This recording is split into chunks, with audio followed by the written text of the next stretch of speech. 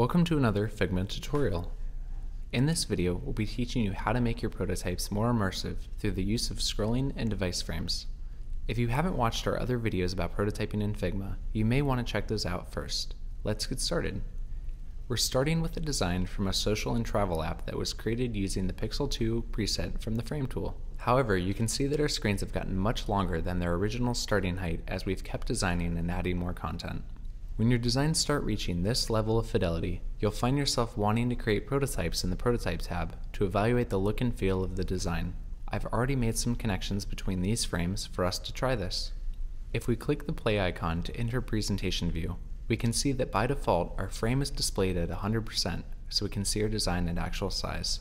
Any area of our design that overflows outside of the screen will automatically become scrollable. But this still isn't quite right. Our phone isn't actually as tall as our computer monitor, so this isn't a very good real-world representation. In addition, at the top of our design, we have an Android status bar that contains the time, battery, and signal indicator icons. At the bottom of our design, we have a navigation tab bar. When we start scrolling, the status bar disappears and the navigation isn't visible until we reach the bottom of our frame. In our actual mobile app, we would expect these to remain fixed as we scroll. Let's see how we can do that. We've opened two different windows side by side, one with our design and one with our prototype, so we can see both simultaneously. If we go back to our design, we can select our status bar component within the frame. Next, we can go over to the Constraints section of the Properties panel and check the option to fix the position when scrolling. Let's do the same for the Navigation tab bar at the bottom of the frame. Because we want this element to remain at the bottom of the frame, let's also ensure that the constraint is set to bottom.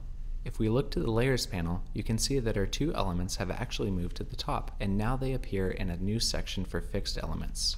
Now, if we return to Presentation View, we can see that our navigation element appears at the bottom of the screen, despite us not having scrolled all the way to the bottom. If we scroll vertically using our trackpad or mouse wheel, we see that the remaining content of the design scrolls behind the elements we told Figma to fix when scrolling. Fixing elements isn't only for these types of applications. For example, it can also be very helpful if your app uses a floating action button, or FAB, to keep it fixed and constrained to the bottom right corner. You may also notice that we have some elements of our design that go off screen. At the top of the first screen and the Browse by Category section, we have four different cards for browsing categories. We can see all of them by selecting our frame and unchecking Clip Content. Let's add horizontal scrolling to these areas so we can access all of the cards in our prototype. Right now, each card just belongs to the top level parent frame, which currently scrolls vertically because of its length. In order to give this area a different overflow behavior to scroll horizontally, we need to first add them to a new frame. Scrolling overflow behavior is a property that only belongs to frames. We can select all four cards, then use the keyboard shortcut Command Option G to frame selection. This places all selected elements into a frame.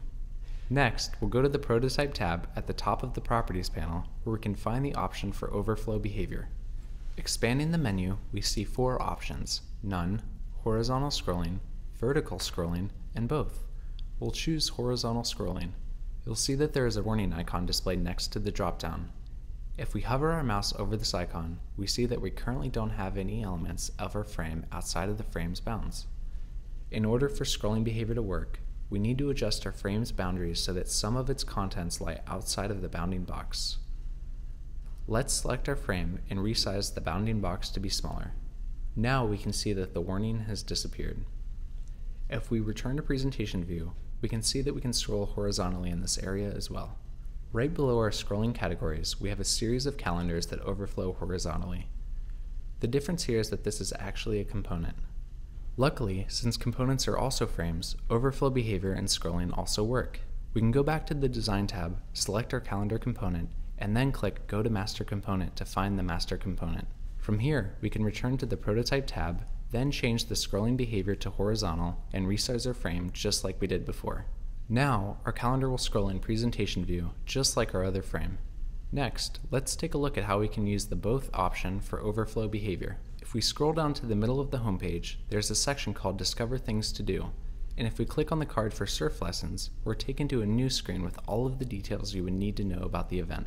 A little bit down the page, we see that there is event location information, including an embedded Google map. We'd like to simulate how a real embed functions which would allow a user to pan around the map, or in other words, scroll both vertically and horizontally.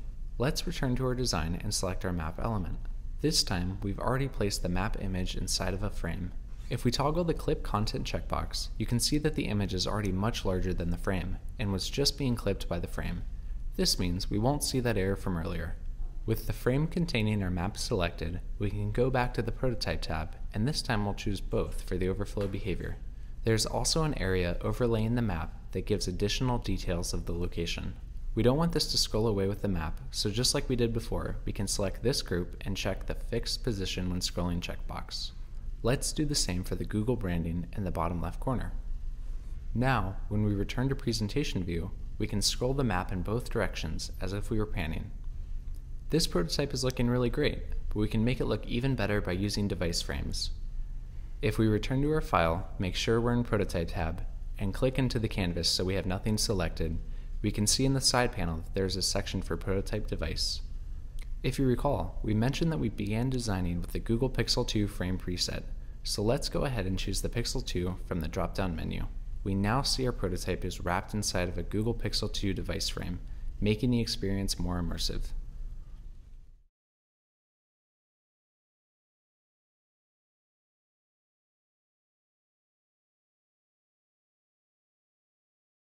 Let's review what we've learned. Scrolling is only available for frames, but nested frames can have separate, independent scrolling behavior. Use fixed position when scrolling to keep content static when scrolling. This is especially useful for headers, footers, navigation, and floating action buttons. Ensure that you have some contents outside of the frame's bounding box for scrolling to work correctly. Set the overflow behavior to horizontal scrolling and vertical scrolling to simulate the ability to pan around something like a map. Deselect everything while in the Prototype tab to change the prototype device to make your prototypes even more immersive.